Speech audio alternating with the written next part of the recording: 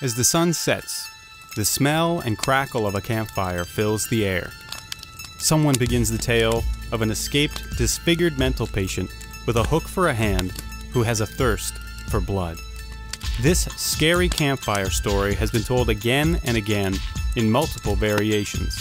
But if we dig deeper into the legend than simply assuming it's just a fable, will we find any truth behind the legend?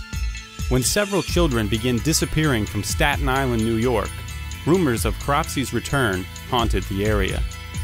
Both in 1988 and again in 2004, the same man was convicted in the related children abduction cases. Is this man the real Staten Island maniacal serial killer known as Cropsey? Or is he simply a victim of a biased media wash? In this episode, we'll dive into the legend of Staten Island's Cropsey. Welcome to another episode of the Cabinet of Dr. Mystery. I am your host, Dr. Mystery. I tried to create living zombies. Reports that have been made by credible observers of relatively incredible things. God, give me strength. All I got to do is relax, and they'll take me to their death. Last chance to evacuate Earth before it is recycled. This is a wicked, wicked world. We are all evil in some form or another.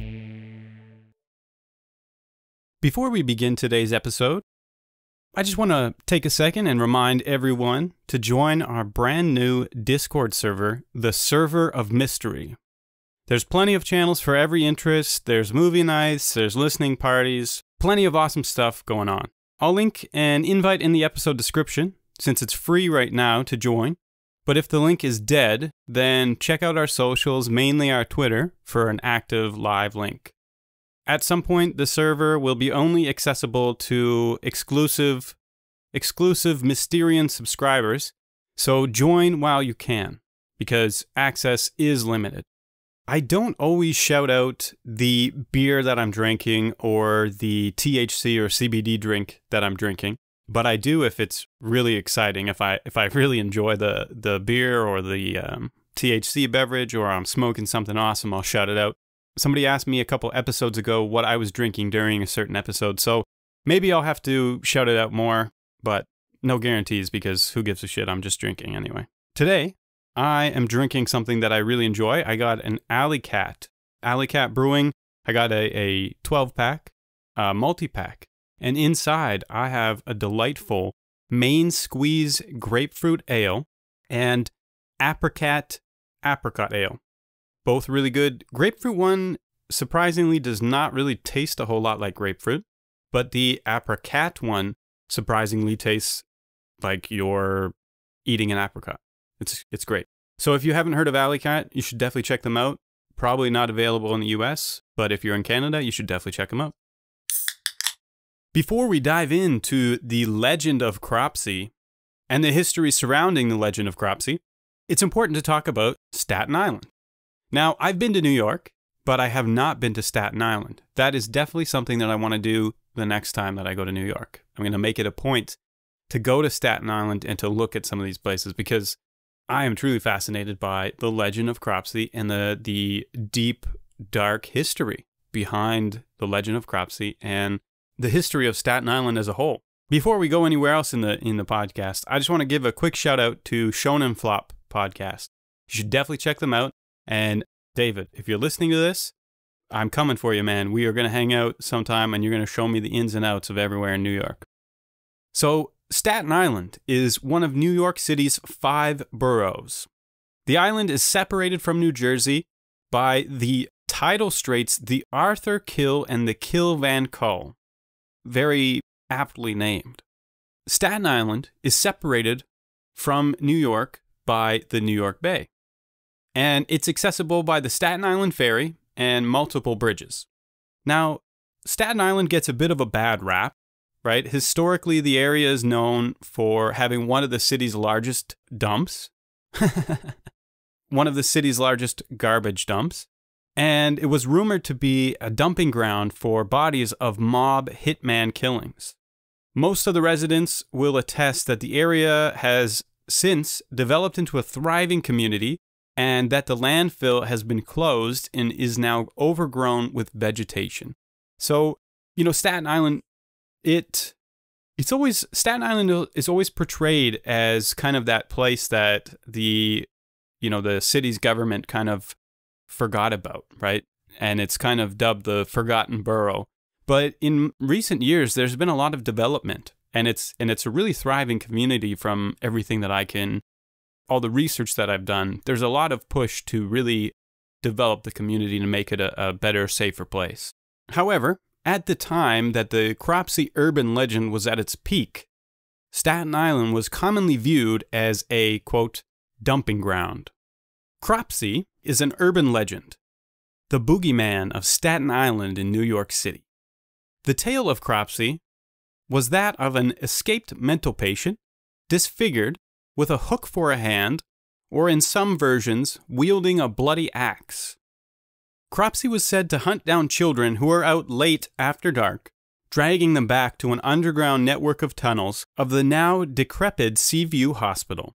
And we'll circle back and we'll discuss the Seaview Hospital in a minute here.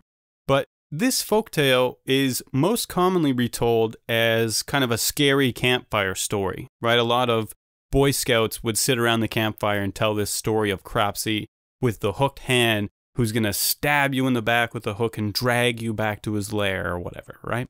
The other times that this tale would be told, or the other theories about why this legend exists, is to warn young children. It's kind of told as a way to warn young children about staying out after dark or going out into the woods late at night. And it's kind of a, you know, parents would use it as a as a way to get their children to behave, kind of, right? I've even heard of different accounts where older siblings would say to their younger siblings that Cropsey's going to get you if you don't shut the fuck up, kind of thing, right? Make your bed or Cropsey's going to come and get you. The 1981 slasher cult classic, The Burning, is loosely based off of the legend of Cropsey. In fact, the killer's name in the movie is George Cropsey, and he starts off as a mild mannered, you know, everyday kind of guy, and he gets disfigured by, I believe it's by teenagers, and then he starts hunting them down. Now, the most famous Cropsey was Jasper Francis Cropsey.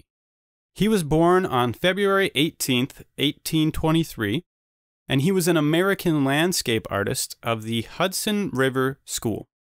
Cropsey was born on his father Jacob Rezeau Cropsey's farm in Rossville on Staten Island in New York.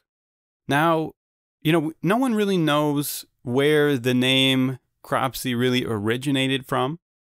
In colonial times, that's when we begin to see the surname Cropsey popping up on, you know, in written records. Some theorize that the name Cropsey became synonymous with the killer or the legend of the killer because the killer was in fact related or a descendant of Jasper Cropsey. However, that's it's not proven. That's just another, you know, rumor or or theory that I read. There's no actual evidence that there was a Cropsey killer and there is no actual evidence that, you know, there was a killer named Cropsey who was a descendant of of uh, Jasper Cropsey. It's just a theory that's been put out there. However, the legend of Cropsey, it's intertwined with the true story of the Seaview Hospital and the Willowbrook Institution. The Seaview Hospital was once the largest tuberculosis sanatorium in the United States.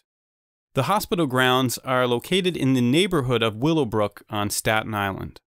So, to kind of give you an idea of what tuberculosis was like in the year 1900, around 30,000, 30,000 New Yorkers were afflicted with the illness, and over half of them were poor and from urban areas. Now, we've discussed how the Seaview Hospital has these abandoned tunnels underneath. That is fact. That's not legend. That is true. That's real. You can go there right now. It's actually a historic building. I don't know if it's closed off or anything or boarded up now, but you know, in recent years, obviously as early as 2009 or excuse me, as late as 2009, people have been able to go into the buildings. But you could probably go in there and see these underground tunnels if they're still open and not closed. The buildings on the hospital grounds, they're all connected via a system of tunnels. So these tunnels were they were underground tunnels running parallel with the above ground tunnels. And these tunnels are where Cropsey was said to take his unfortunate young victims. It's also important to note that this area, the Willowbrook area, was also host to a school for the intellectually disabled. So all these buildings are connected, and one of these buildings that's nearby is the Willowbrook State School. This school was the largest state run school for the mentally disabled in the United States and quite possibly in the entire world. The school was in operation from 1947 until 1987. It was initially built to house 4,000 students, but by 1965, the school was home to over 6,000 students. In the mid 1960s, Senator Robert F. Kennedy, you know the man, you know him, RFK, what? He toured the facility and he stated that the patients were, quote, living in filth and dirt. Their clothing was in rags, and they were in rooms less comfortable and cheerful than the cages in which we put animals in a zoo. So I'm going to drop a quick clip of what RFK said visited the state institutions for the mentally retarded, and I think uh, particularly at Willowbrook that we have a situation that borders on uh, a snake pit, and that the children live in filth. Uh, that uh, many of our fellow citizens are suffering tremendously because lack of attention, lack of, lack of imagination, lack of uh, adequate manpower. There's very little future for the children or for those who are in these institutions. Uh, both need a tremendous overhauling. I'm not saying that those who are the attendants there are the ones that run the institution are at fault. I think all of us are at fault. And uh, I think it's just uh, it's long overdue that something be done about it. In the early 70s, after an expose by Geraldo Rivera, the school gained national attention. The program was titled Willowbrook The Last Disgrace. In addition to the overcrowding of the facility, the television program captured rampant physical and sexual abuse, unsanitary conditions, and extreme neglect. Other extremes included improper use of restraints, seclusion, medication errors, and theft. The expose showed the majority of the children lying naked on the floor, covered in their own filth. Who's in charge here, Jerry? This is Mrs. Nixon. I'm Congressman Biaggi. How are you? Why are these Why are these uh, patients unclothed? We don't have enough clothing. We don't have the proper help to keep clothing on them. We have a few nudists that will not keep clothes on. They will pull them off. But most of all, we don't have the help to keep the kids properly dressed. You're talking about more money for the for the institution. Well, that we could use because then we will have more help. How, un- how understaffed are you? Very understaffed. There are days we have four or five attendants to take care of a hundred. Condition in a very beautiful ground, very well-built buildings. Uh, inside we have housed uh, the children of many of our citizens who are subjected to the what appears to be the worst possible conditions I've ever seen in my life. I've visited penal institutions all over the country. I've visited hospitals all over the country. I've visited the, the worst brigs in the in the uh, in the military. Nothing's like I've, I've nev- never seen anything like it. One of the on site doctors, who was fired for pressing for more humane treatment of the patients, he discusses how there are two to three attendants per 70 plus students. He also mentions how 100% of the Willowbrook population that has been there for longer than six months has contracted hepatitis. Now, the reason that this is, is because the school was home to a hepatitis research program. With this research program, staff would intentionally inject healthy children, infecting them with the hepatitis virus. And as you can imagine, when you get infected with hepatitis, whether it's accidentally or intentionally, you get really fucking ill. This exclusive coverage of the facilities, as well as public outcry, activism on behalf of staff and parents of institutionalized patients, led to class action lawsuits, bills protecting the rights of the intellectually disabled, and the reform of various mental institutions. The Willowbrook State School was eventually closed in 1987. After the closure of the school, most patients were relocated to other facilities, but many have speculated that most of the patients were simply released, allowing them to wander aimlessly around the nearby grounds and abandoned buildings. So most people say that they just open the gates and let you know let the majority of them out. That same year in 1987, Jennifer Lee Schweiger went missing. Although Jennifer wasn't the first young child with developmental disabilities to be abducted, she was the first case to garner public attention. Some local community members developed an organization known as the Friends of Jennifer, now known as the Friends of Jennifer for Missing Children. This coalition, along with other community members, developed a group to search for Jennifer. After over a month of searching, Jennifer's nude body was found in a shallow grave near a makeshift campsite on the grounds of the abandoned school. This campsite was the site of a man who had been living in these woods for years. This man would later be dubbed the real life Cropsey. He was later arrested and charged with the kidnapping and the murder of Jennifer Lee Schweiger. This man's name was Andre Rand. Andre Rand was born Frank Rostam Russian in 1944.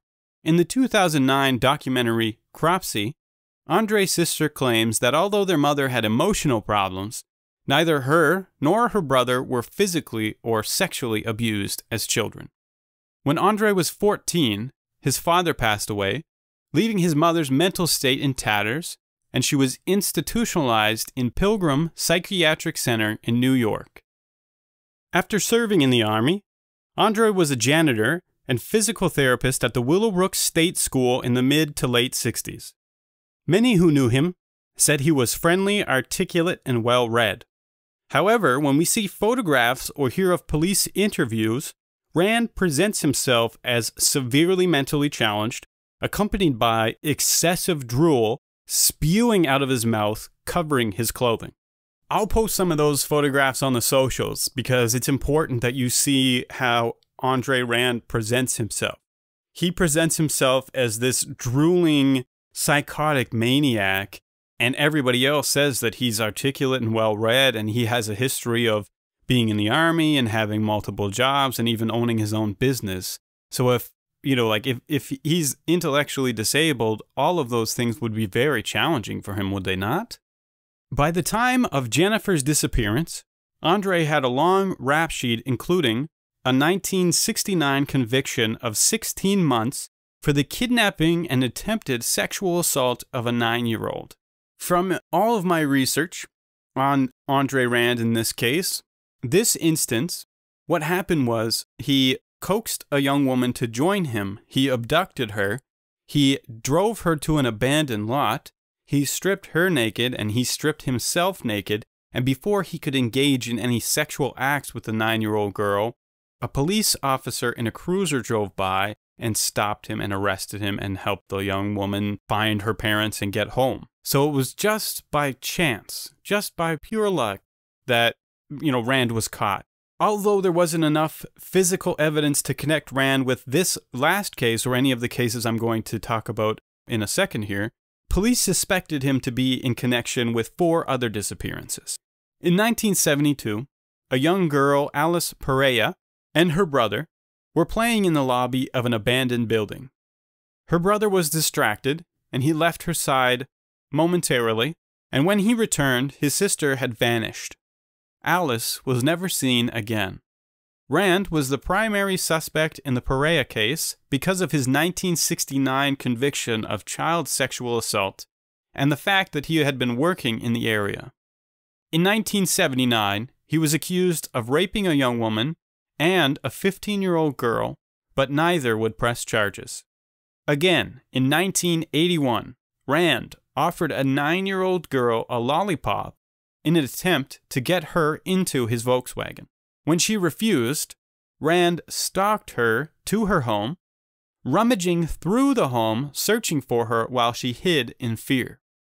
It's unclear to me why Rand didn't serve any jail time for this, because technically, even if he wouldn't have been stalking, even if he wouldn't been, you know, charged for attempted kidnapping, he would still could have been charged for burglary or or home invasion, breaking and entering. So it's unclear to me why this 1981 conviction didn't land him any jail time. Nine years after his first known offense, in 1981, seven year old Holly Ann Hughes went to the store with her friend to get a bar of soap. Now, some accounts say Rand admitted to playing hide and seek with Holly before her disappearance, and that he is the one who provided her with the money to buy the soap. Regardless, the friend that was with her said Rand pulled up alongside them, pulling Holly into his beat up green Volkswagen and drove away. In both these cases, he was released due to lack of evidence. In late 1982 or early 1983, Rand returned to prison after he approached a group of 11 young children on a YMCA playground. Driving up to them with a big school bus, he convinced them to get on the bus in exchange for snacks and candy. After driving the kids to a local burger joint, he drove the bus full of kidnapped children to a local airport, eventually determining he wouldn't be able to get all the children onto a plane. He returned them all to the YMCA unharmed. For this, he spent approximately 10 months in jail. Just 12 days after Rand's release from prison, 11 year old Tiahease Jackson disappeared on August 13, 1983. Her mother had sent her to the store to buy some chicken wings two miles north of Willowbrook. In 1984, an intellectually disabled 22 year old Hank Gafforio was seen for the last time at a diner with Rand. And it's interesting, you can actually see Hank in the background in the crowd in television interviews about the ongoing missing persons cases. So these other people were going missing, and Hank is, he's intellectually disabled, but he's interested, he's excited, he's involved. And he goes to some of these interviews. And in the Cropsey documentary, you can actually see in different interviews about the earlier missing persons cases of these young children going missing you can see that Hank is standing in the background in the crowds. Now, Rand has also been connected to the disappearance of Ethel Atwell and the rape and murder of Shin Lee, both of whom were former Willowbrook aides. If we recap all of these tragic disappearances, Jennifer's body was the only one that was ever found. When they found Jennifer's body, I'm not going to make any Jennifer's Bodies jokes because, like, it's kind of like Jennifer's Body. You know, the movie, you could set this up perfectly for a joke, but I feel like it's not the right place to make any sort of joke about a child that was raped and murdered. Jennifer was buried face down, but when her body was in an autopsy, they found that the blood had pooled at her feet, meaning that she died in the opposite direction. So this suggests that Jennifer's body was reburied. And this new evidence has led investigators to believe that a second suspect may have been involved. Another interesting thing to note is that her body was only found after Andre's arrest. He was in police custody when she was found. So, you know, you could say that he he could have killed her and then buried her in a different direction you could say that he could have I mean, it looks like she was buried, dug up, and flipped over. I don't know. That's that's kind of the impression that I'm getting. But you know, did he did he have an accomplice, or was her body reburied to frame Rand? The whole the whole kind of vibe of the the Cropsey documentary is like people kind of had had you know they they've had enough of him. He's coming in and there's all these cases of him doing weird things with children, being really creepy, even if he hasn't actually raped or, you know, even if he hasn't been co- convicted of any actual sex crimes that he's committed, he's still attempted. You know, there's there's a couple people that a couple young women, young girls that claim that he raped them or attempted to rape them. So, like, you know, Rand isn't a good guy. You can't look at him and say he's a good guy, he's innocent. Even if he is innocent in one or two of these cases, he's not innocent altogether, right? He's still a creep, he's still an asshole. So, people, you know, the community could have had enough of him and they could have found his body, or, or, or excuse me, they could have found Jennifer's body uh, and they could have buried it as a way to frame Rand, right? They could have found her body somewhere else and taken it and buried it at the campsite. That is one theory that I've heard. But honestly, if that did happen, I couldn't fault the people in that community, right? I mean, fuck them. I mean, you know, honestly, I'm supposed to not be biased here, but, you know, he, he's a terrible human being. Here is where we get to the interesting theories of this case. In the 2009 Cropsey documentary, some citizens speculate that there's a network of people living under the vast system of tunnels throughout Staten Island. Now, the directors take us through these tunnels, and in these tunnels, we see clothing, furniture, cans of food, dishes, and other items that show people recently living in these tunnels. There were claims about devil worship and Satanism taking place on Staten Island. There were there were signs of satanic graffiti on the walls in some of these tunnels. And someone had written a letter to Jennifer's mother about a secretive satanic black mass ritual. There are also claims that these children are used in these black mass rituals which some attribute to these missing children. Now, there's also some nuns who have gone on the record in this documentary to talk about the satanic cult, and they've there, there have been people who have said, "I have witnessed this. I've seen them take the children, molest them, rape them, kill them, and use them in these satanic rituals." So, before I go into the my personal theories about this, and we before we talk about you know this next satanic cult here there are people that will tell you that this did happen right even if it seems far-fetched you know the satanic panic of the the 80s is is well at work in Staten Island at this point but you know there are people that say that they've seen this so you take that for what it's worth with all of these abandoned buildings and the dense wooded forest you know, a lot of dark things can happen on this island, or they could happen on, on this island. I don't know what it's like now compared to how it was in the late 80s, but at least in the late 80s, it was a wooded, dense, forested area. Now, with all this satanic talk, it leads us to this cult. It's called the Process. So, the Process, the Church of the Final Judgment, is an offshoot of the Church of Scientology. In the latest Netflix documentary about the Son of Sam killings, it's theorized that the process spawned another branch of cult like religions known as the Children. Scientologists Mary Ann MacLean and Robert de Grimston started the process under the name Compulsions Analysis. Incorporating Scientology practices, the group's theology developed around four gods Jesus, Jehovah, Lucifer, and Satan. And as the process grew, so did the many factions that broke off from the church. Author Maury Terry's The Ultimate Evil attributed multiple high profile killers to the process and its related factions, claiming that these killings were linked to underground satanic cults. In this book, he talks about Charles Manson, he talks about the Zodiac Killer, he talks about Son of Sam, and he talks about how everything is interconnected through the process, through the church of the final judgment, the satanic cult. Now, if we look at the process, we see that David Berkowitz, the son of Sam Killer, did follow the process. And we also see that he was in a cell with Andre Rand for a certain period of time.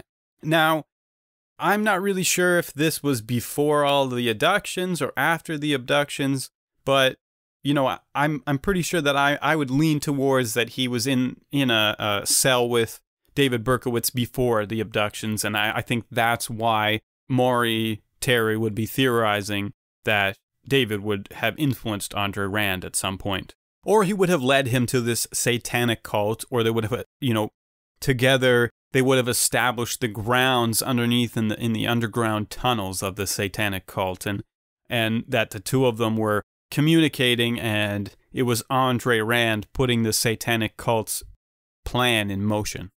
So that's one theory. So I got to be honest here. The process sounds cool. It sounds it sounds mysterious and dark and ominous mm, until you dig a little deeper.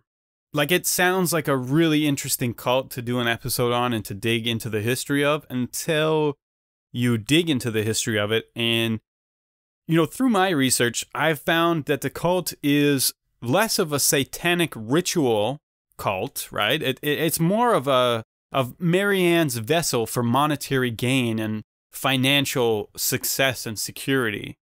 And the reason I say that is because after excommunicating Robert, Marianne turned the cult into an animal sanctuary. So, somewhere along the lines, Marianne kind of started slowly changing the cult from a satanic ritualistic cult into an animal sanctuary. You know, it doesn't. Maybe I'll do an episode on it, but it'll just be an episode where I make fun of them the whole time because it doesn't really sound, you know, I don't know. I don't know how you would. How would you gradually go? You'd have to gradually go from being a satanic cult to being an animal sanctuary. So, you know, when the Son of Sam documentary came out on Netflix, everyone was all hyped about it. But know, I really don't think that it has any connect. Like, I don't think that the process is a satanic cult. I think it's just a bunch of dumbasses who wanted to make some money off of a bunch of other dumbasses. it's just like Scientology. A bunch of dumbasses trying to make some fucking money off of rich dumbasses.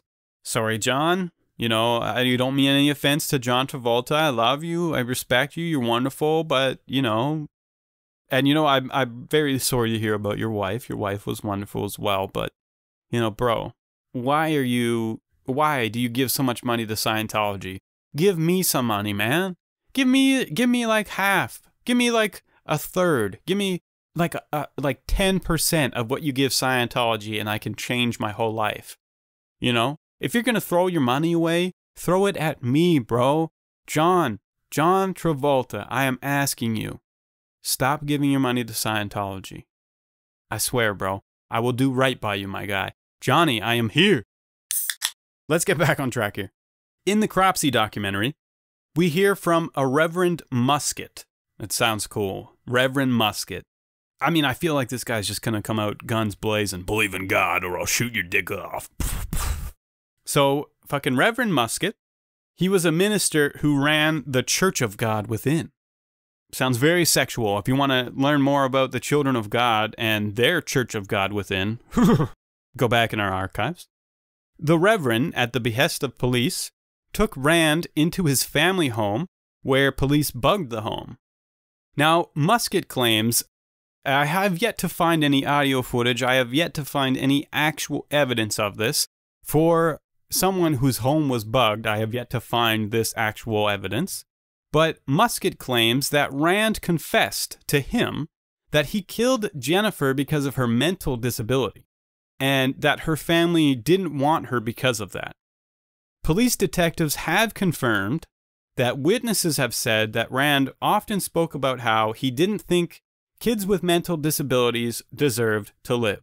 Rand has spoken to inmates in prison, and he had said that he was comparable to Ted Bundy because they both liked the Volkswagen. They both had a thing for the Volkswagens.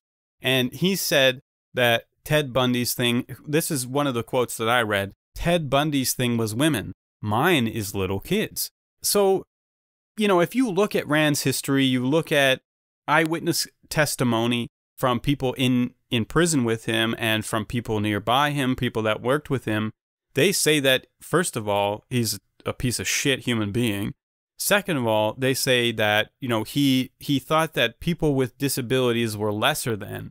That is one theory why he would attack children with intellectual disabilities or young people cuz Hank was Hank was around 21 or 22 at the time that he was he disappeared. So, you know, it's that's one of the the theories is that he goes after people with intellectual disabilities because he thinks that they're lesser.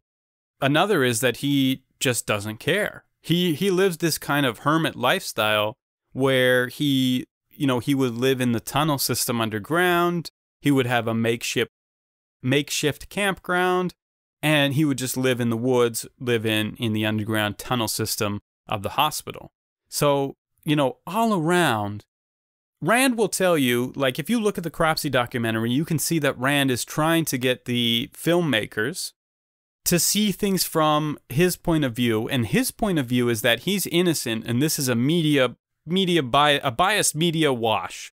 That the, that the media has portrayed him as Cropsey, that the media has portrayed him as a killer and, and a kidnapper because of his past. And regardless of who he is now or how he's changed, he's always going to be looked at as a pedophile, as a as a creep, as an attacker, right? So, you know, also like fuck you. You did it once, bro. You did it once. That's enough for me.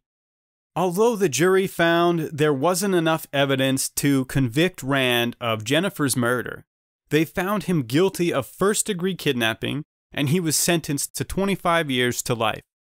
So Rand was convicted in 1988 so this would have made him eligible for parole in the year 2008.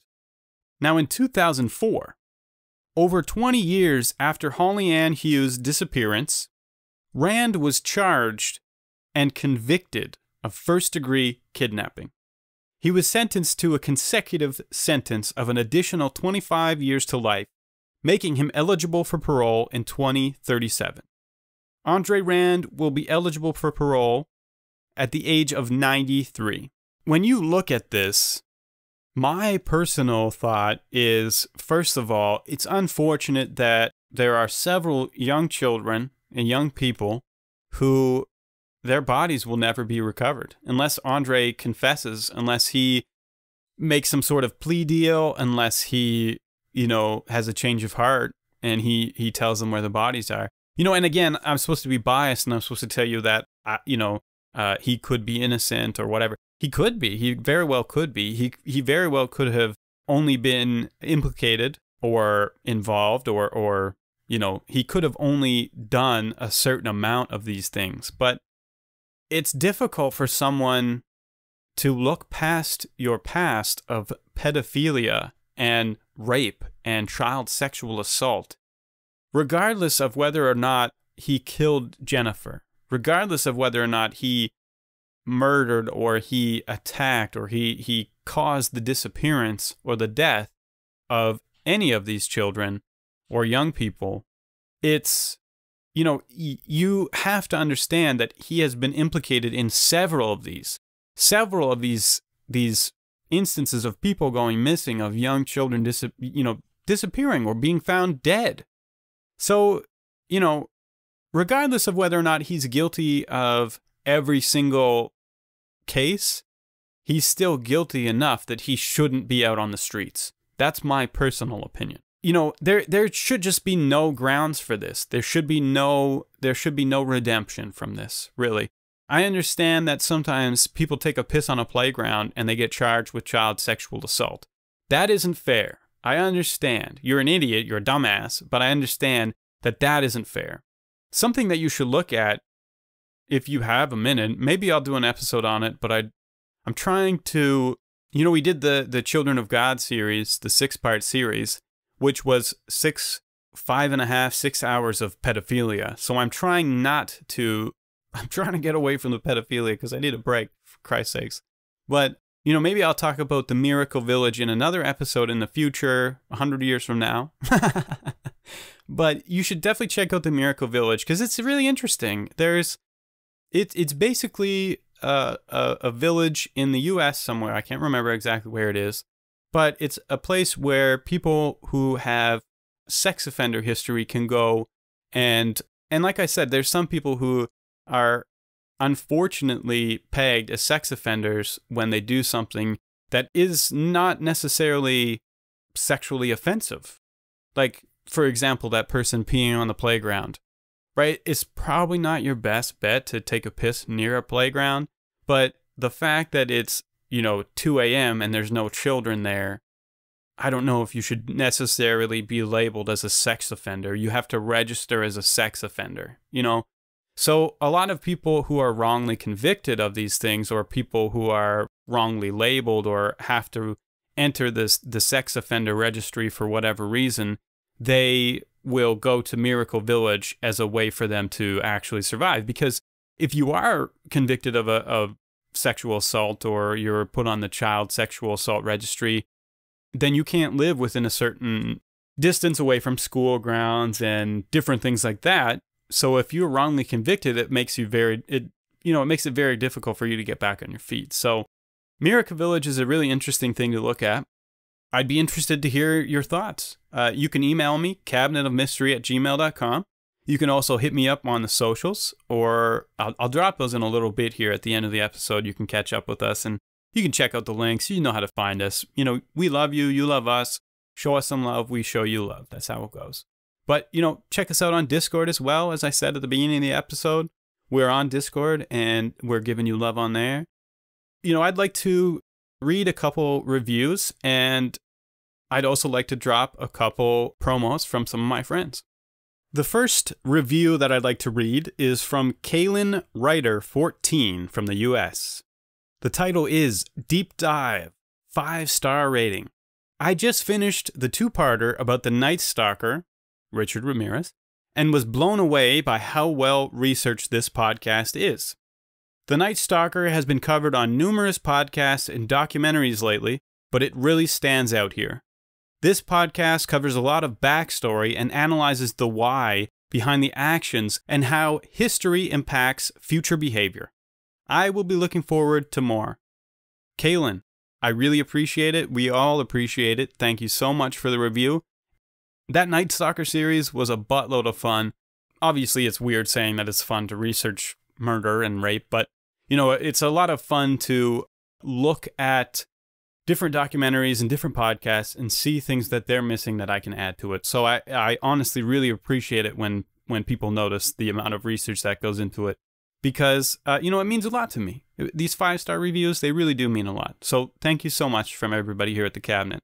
The next review comes from my favorite Cat Lord Six, dun dun dun, from the U.S.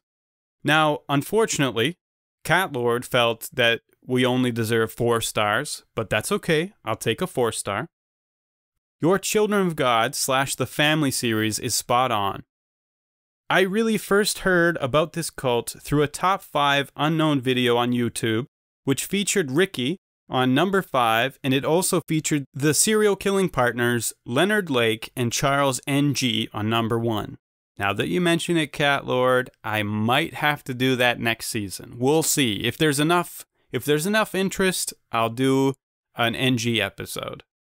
Uh, this was back in the summer of 2018, and over time, I've listened to a lot of other podcasts about the cult, such as Last Podcast on the Left, which is one of my personal favorites. Henry, Ben, Marcus, if you're listening or one of your fans sends this to you, I love you guys. Thank you so much. You guys have literally saved my life. I really appreciate Last Podcast on the Left. In addition, he lists Time Suck, Creep It Real, Parcast's Cult Series, Voice of the Victims two part episode on Ricky, Occulte Veritas, God, Occulte Veritas. You know, if you have a fucking podcast like this, no one gonna find it. Hey, you check out Occulte Veritas? I don't even know how the fuck to say this. He lists a, a couple other podcasts. And he says, I've also watched a couple documentaries on the children of God, like Cult Killer, about Ricky the Love Prophet, and an episode of Cults and Extreme Beliefs on A&E.